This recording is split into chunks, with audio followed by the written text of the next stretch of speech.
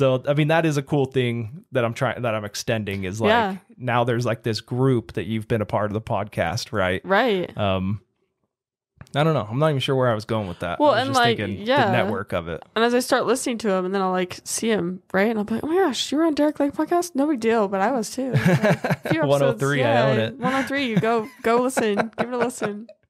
No, it's been a cool thing. And like in you like people ask to come on. Yeah. You were like pushing to get scheduled. And I loved that Yeah. too. Like I was like, okay, this is cool. Like she really wants to come on. I did. Yeah. Um. What else? What else we got to talk about? I wrote down some stuff. Uh, soccer, interior design, Dixie. I call it Dixie. You call it I Utah mean, Tech. but I mean, do I? I When you said. Utah Tech, I was gonna be like, you mean Dixie? Yeah. Well, that's the thing is I've been, I was there when it was Dixie, and now it's Utah Tech, and it's like, mm. Yeah, it's this weird switch Ugh. over. everyone knows what you mean when you say Dixie, but if you say Utah Tech, you get the occasional like, what? Yeah. Like Dixie, and they're like, oh, okay. And you're like, okay, well, I'm going to use that one, but all right. What else you got? You got any questions for me? I need to start asking people that because they were. I just sit here and talk to the guests, Yeah. I and mean, they don't think they can ask questions back. how'd you get passionate about safes? Uh, it's money, Yeah. to be honest. Okay. Um, so how safe started was it was a buddy that wanted to get into it, Yeah. and I was like, dude, do it, do it, right? Like Right. the conversation Yeah. we just had, and he was scared. And I've one of my best friends is in a partnership in a business, Oh, and I kept telling him like, dude, just do it yourself. Just do it. Like you don't need the partner. Just do it yourself. Right. And people like to share that responsibility with someone else. I think they Mhm. think it's easier. Right. Um, it didn't take so wrong. it didn't take very long. I someone told me the only ship that sinks is a partnership. Oh, that's funny. That's pretty much what happened with us. So I came on. I I I invested all the money to start it. Yeah. I ran all the business side of it. Got our you know our LLC set up, business Mm-hmm. license, got us uh, the lease, everything, all that. Wow. And then we were about six or seven months Oh boy. and I had to kind of like within like month two, I had to like kind of step in and start taking over the store stuff. Wow. Um, our margins just weren't there. Prices were too low. Things that were getting sold were even being sold under that. Oh my gosh. And so I kind of had to step in and reprice everything. And every time I had to come in and do something, it just caused issues. Mm. Right. hmm And so, yeah, I think we lasted like seven months and he wanted out. Wow. And so initially he was supposed to buy me out. Like that was the whole plan. Yeah. Like, dude, I'll get you started, get you in the green, get you making money, and then you buy me out. Wow. And so he ended up walking. Well, I paid him a dollar. I think I don't know if there like has to be a monetary like exchange Yeah. When you buy so, someone yeah, out. For sure. Um, but in my mind, he walked. Yeah. And then I spent 52 cents on a stamp to mail him a check for a dollar. So oh my gosh, that's a lot of money right there. I know. So yeah, so I I ended up we had a storefront um kind of by Lip Tricks Oh, oh the yeah. boulevard. Yeah. Okay. and then I moved everything into a storage unit. Um I negotiated out of that lease. And then um I was spending a lot of time on my other jobs. Like I have like 5 jobs. Wow. And so What do you do? um I have two contract mailer routes is the big Mhm. thing cuz they have to be furnished 6 days a week. Okay. So if someone's not out there, I am. yeah. Um, so I was doing that a lot. Wow. So my day was I'd wake up at six, I'd drive out to Hurricane, Mhm. I'd sort mail, I'd drive to Hildale. Um, I would deliver them their mail to their post office and then deliver Apple Valley on the way back. wow. And then I would drive from there straight to the store. I'd run the store from like noon or one whenever I got there to Wow. six. And then when I left at six, I went home and I would I build custom gun holsters. Oh my gosh. So then I would build gun holsters till like midnight or one.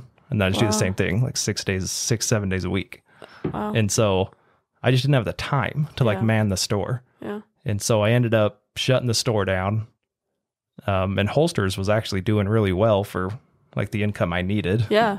And so I was putting a lot of time into that. hmm And then in 2020, um, I was like, I had the contract routes all had people doing them. So I wasn't out there as much. Yeah. And I thought like, man, I kind of want to open that store back up. Like I've been in retail most of my life, Wow. even though it's, it, I think it's a terrible industry to be in. and so people ask me, oh, I want to do this. And I'm like, why? You're like, no, you don't actually. Yeah. Stop. And they're like, oh, I want to go work sales or, I mean, sales is great, but like yeah. to own a retail store is so much more than what people think, I think. But, oh yeah. um, but anyway, I wanted to open it back up and then COVID hit like Mm-hmm.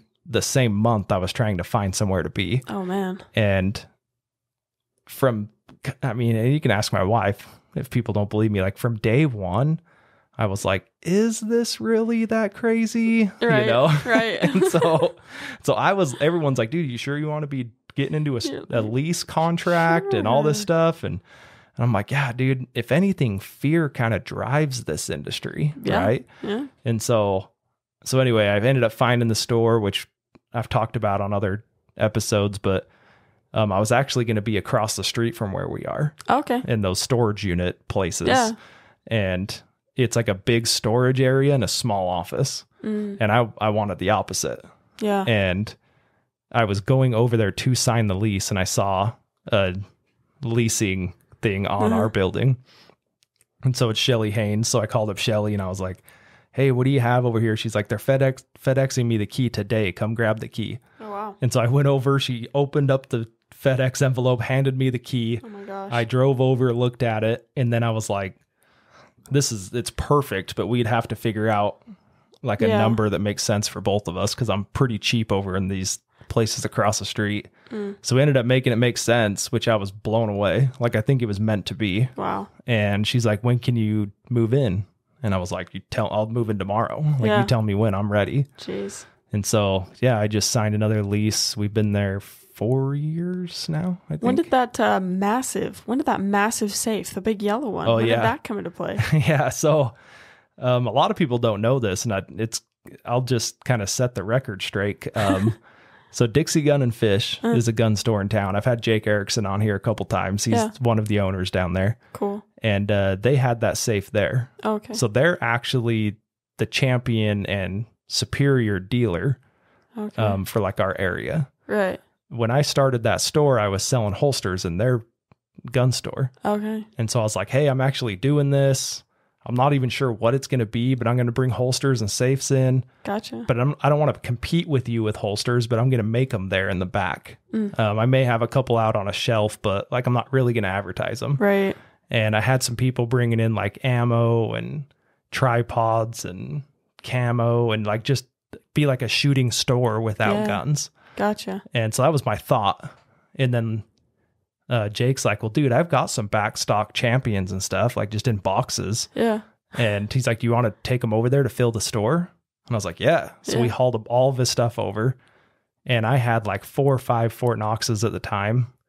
And within like three weeks, we sold everything. Oh my gosh. And I was like, dude, this is a safe store. wow. And so that's how like the whole safe store thing happened there. They got the market for it. Yeah. yeah Wow. and uh and it- with covid and all that stuff going on and then the government was just giving everyone 1400 bucks Yep. Take that. There so we were like what safes can we make 1400 bucks Yeah. you know and and so when we did that jake was like dude take that yellow safe over because it was in their parking lot and they're in like a little cul-de-sac that didn't have a Mm. lot of traffic yeah. and so we brought that over which saved me like $700 on one of the monument signs Wow. so it was totally worth it Yeah. And now people know us as the store with the yellow safe, not Yep. Southern Utah Safe and Vault. Well, and even like I'll when I, I'll use it when people are like, "Where's your store at?" I'm like, "Okay, so you're gonna drive right here, and and you'll see this massive yellow state." And they're like, "Oh yeah, I know exactly what you're talking about." I'm like, Yeah, "Perfect, right. awesome, well, it's funny the people that don't know it. right." Like I'll have people come in and I'm like, oh, and we'll talk, and I'm like, yeah, the, you, now you know the store with the big yellow safe, and they're like, what? And they're looking Yeah. around. I'm like, how did you miss that? It's like literally. I Like, mean, it's how like big 20 is that? feet tall. Yeah, I was like, that is like a massive safe. I should measure it because everyone asks me how big it is, and I have no It's idea. It's got to be at least. It's I mean, tall. It's got to be at least nine. I don't even know. I'm like, in my head, yeah, it's like 20 feet, but I mean, realistically, I'm not good at estimating. yeah, so. yeah. I, don't, I mean, I've stood up next to it, and I'm only I go like halfway up it. That's I'm six insane. foot, so It's got to be a 12, 15. Yeah. Wow. I'm willing to bet it. Yeah, 15. I could see 15. and then it's on a trailer, so it's another like two feet off the ground. Yep. 20 sounds about right. Yeah. So so anyway, so uh Tyne Segmiller and Jake Erickson, they own the locker room and Dixie Gun and Fish. Cool. Um, and we just have like a, a split worked out with the champion line and the superior line. So they don't own any of the business, Oh. but I basically sell their inventory. Oh. Um, so it makes them look a little better because they order more. Yeah. Um, I help store a lot of their stuff that they have on over, you know, cool. back stock. And then I also I have a forklift and they don't. So Yep. They'll bring the semis to me and I unload them all. Well, Jake will usually come over, but. Yeah. like it's somewhere to unload. Um, at the sports store, they actually have a little dock. I think they've unloaded there before, but anyway, I feel like the people that like I don't know. You think about business, and even coming into this, I feel like I didn't realize it's so much of just are you going to make you friends because that's what you need to do, Yeah. and and just like developing those positive work relationships, and just kind of I mean coming into this, it's just you you need business and you need connections, and you pretty much only get to say yes to people for the first like long long bit because you Yeah. just need any business is good business anything you can get your hands on. So, I mean, right now it's just so many people that come in and you're just like, okay, let me just prove to you that I can be your absolute best friend or that Right. I'm actually this great person. And so I think it's made me a better person because I'm like, okay, I need to be like top of my game. I need to like drive better so that if people see me driving, they're like, this lady is a crazy driver. No, they're like, oh my gosh, she drives in the lines. Good. But no, I, so we're kind of the same thing. Like we're not the used car salesman is that what I always explained it Yeah. as. We're not like pushy. Like right. at a number of times I've talked people into buying a lesser Yeah, safe because I'm like, dude, I just don't think you need that. You Yeah. know, like this is probably going to check your boxes, and like having that relationship with customers has Mhm. put us.